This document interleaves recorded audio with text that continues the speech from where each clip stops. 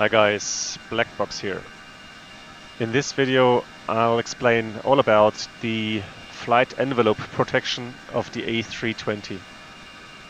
The implementation of the fly-by-wire system in the A320 made it possible to produce this uh, flight envelope protection system. When all systems are working and the Airbus is in its so-called normal law, several different protection modes will keep the Airbus flying within its designed flight envelope. Simply said, even when the pilot is flying manually, he is unable to bring the aircraft outside of its designed envelope. In the next couple of minutes, I'll be going through the different protection modes and demonstrate to you how the flight control computers make sure that the aircraft doesn't enter an uncontrolled state. So let's jump into the cockpit and have a look at the primary flight display. Here you can immediately see that the aircraft is in the normal law by the green double dashes on the bank and pitch scale. The normal law covers the flight envelope protection and the load alleviation function. The normal law is divided into three phases, the ground mode, the flight mode and the flare mode. Now as the name says, the ground mode is active on the ground and uh, this remains active until shortly after liftoff, approximately 5 seconds. In the ground mode there is a direct and proportional relationship between side stick inputs and control surface deflections just as you would find in a conventional aircraft. Also in ground mode, the trimmable horizontal stabilizer is only manually controllable. However, a small exception is when the aircraft enters the ground mode again after touchdown. There, the trimmable horizontal stabilizer is automatically reset to zero. The flare mode becomes slowly active when the aircraft descends through 50 feet radio altitude during landing. Here the system freezes the trimmable horizontal stabilizer and memorizes the pitch attitude, which then becomes the initial reference for pitch attitude control. As the aircraft then descends through 30 feet radio altimeter, the system begins to reduce the pitch attitude to minus 2 degrees over a period of 8 seconds. This means that the pilot has to induce a nose-up stick input in order to flare the aircraft. This simulates the behavior of conventional aircraft where the reduction in thrust and uh, airspeed also means that the pilot has to induce a pitch up input. As you can see, the ground mode and flare mode are pretty simple modes. Now obviously the flight mode lies in between the ground and the flare mode. The flare mode is uh, pretty interesting since it has a lot of protection modes.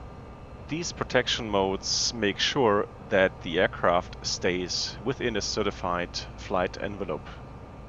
And this is what makes the Airbus so unique compared to other conventional aircraft. So let me now demonstrate to you the different protection modes. I'll start off with the load factor limitation. You can monitor the G-load just above the time indication on the engine warning display. So first off I'm gonna apply a full aft side stick input. So you can see no matter how fast the aircraft is going and no matter how hard I pull the stick back, the G load will not go above 2.5 G.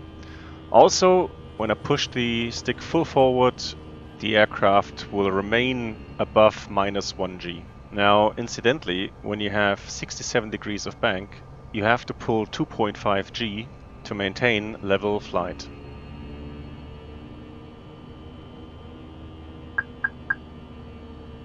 Okay, next up is the bank angle protection. Now this is fairly simple. Even with uh, full left side stick deflection all of the time, the aircraft will not go above 67 degrees of bank. Same applies obviously if you're doing a right hand uh, turn. Full right stick input, maintaining the input and the aircraft maintains a maximum bank angle of 67 degrees. It will not go beyond that.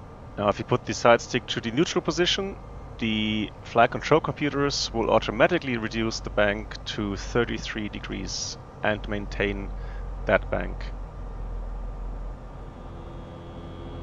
Next up is the pitch attitude protection. Now I'm applying full aft stick input. The pitch however will not go beyond 30 degrees of pitch up. The same goes for full stick down input.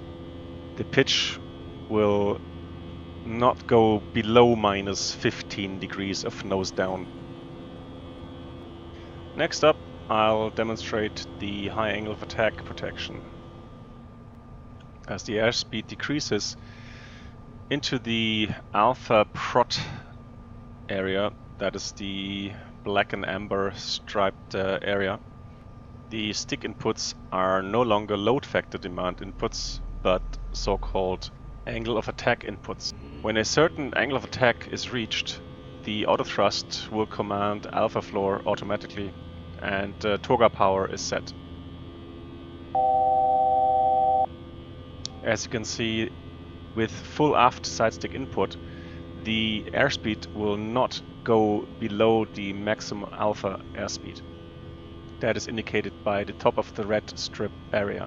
Now, the very neat feature about this is that you can get the maximum climb performance by pulling the stick full aft and you don't have to watch the airspeed the flight control computers will do that for you.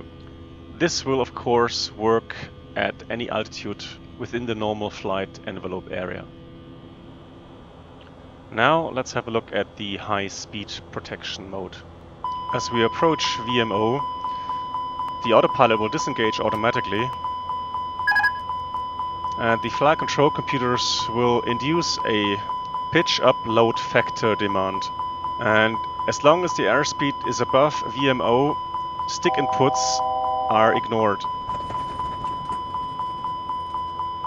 Here I'm using full down stick input and you can see the flight control computers will still pitch up the aircraft to get the airspeed below VMO. So the last mode I need to show you is the low energy warning which is available in config 2, 3 or full and when the radio altitude is between plus 100 and uh, 2000 feet. So when the airspeed gets too low, you'll hear speed, speed, speed. And that's the low energy warning. So that's it guys. Now you know a lot about the normal law and the flight envelope protection so I'm sure you'll agree it's uh, quite impressive what the Airbus A320 has to offer to make a flight as safe as possible.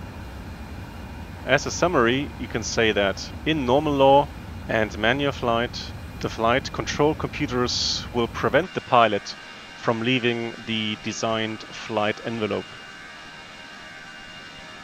I hope you've enjoyed watching this video I also hope that you found this topic interesting. I promise you there's more videos coming on this channel. Until then, happy landings.